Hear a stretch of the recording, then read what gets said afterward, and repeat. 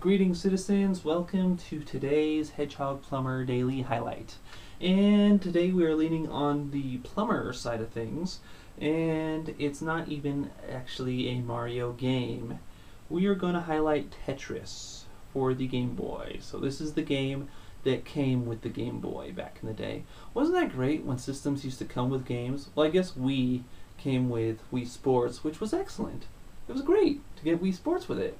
Uh, Wii U, I guess that comes with games too. So Nintendo's really going in the right direction again. Yay, Nintendo! Here we go. Okay, so anyway, why am I highlighting Tetris if it's not actually a Mario game? Well, Mario and Luigi make pretty dominant cameos if you play two players. So you have to have two Game Boys, you have to have two cartridges, which is easy to do since the Game Boy comes with the game, and you have to have the link cable, which back in the day the Game Boy came with a link cable also.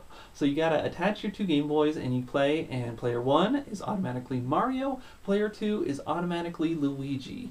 And it has your character's little uh, little face in the corner as you're playing Tetris. And in the end, say you're Mario and you win, it shows Mario jumping up and down all happy, and it shows Luigi crying, and vice versa if uh, it's the other person that wins or loses. So that's really cool that they tied in Mario and Luigi into the Game Boy version. Now you may know the NES version also has some cameos, but I'll wait to go over those when we highlight that game. So thanks so much for watching, and tune in tomorrow for another Plumber or Hedgehog Daily Highlight. To host!